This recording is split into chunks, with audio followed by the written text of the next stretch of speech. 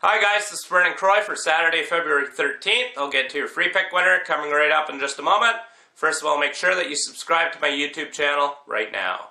I cashed my four-unit college basketball smash last night, Arizona State winning outright over USC. We had them plus one. However, the line did move to minus one by game time. It didn't matter. They won by more than that. We cashed that, and I looked to absolutely hammer the Bucks big time here Saturday.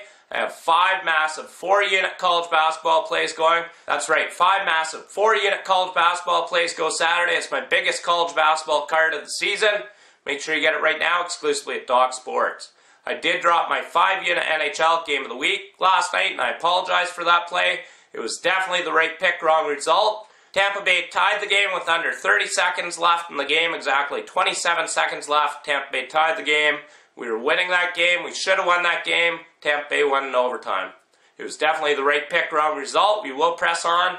I have a top four NHL smash going here Saturday night. Make sure you get it right now on the Premium Picks page. Your free pick winner for Saturday, February 13th, we're taking the Texas Longhorns against the spread over the Iowa State Cyclones. Texas is 4-0 against the spread in their last four road games overall, and they're 6-0 against the spread in their last six conference games.